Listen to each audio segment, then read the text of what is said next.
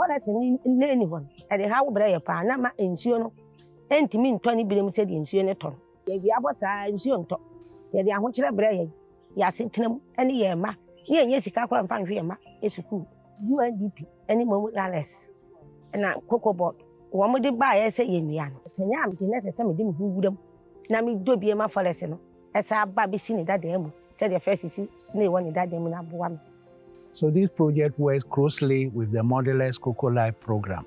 And so the company decided to get involved in this forest rehabilitation effort as their contribution to the overall climate change solutions required by this country. sɛsɛ no deɛ yɛdua nnua wɔ afuo no so no ama kokoo no mu ayɛ kama kokoo no nya home kamakama afe so so a ne pɛ no si a ɛntwa ma a ɛnti afe no ɛnso no na firi woanya kora firi five bars ɛkɔpem eight bars wobɛtumi anya one acre COCOBOD started Dixent, and it will take a long time if we want to grow it single-handedly. And then we can see that even 10-year trees, planted trees, are providing a lot of shade for our cocoa farm.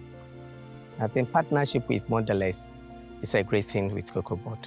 We are so grateful to Mondelez and UNDP for this project.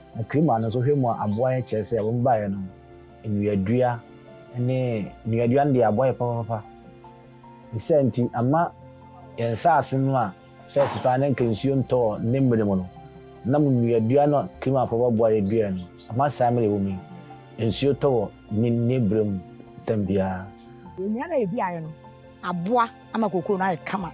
Agrikifoɔ no ba bɛhwɛ afuo no ɔmu sɛ afuo no ma yɛ ne yie nti ɔmu bɔ ɔmo aba so. Original best farmer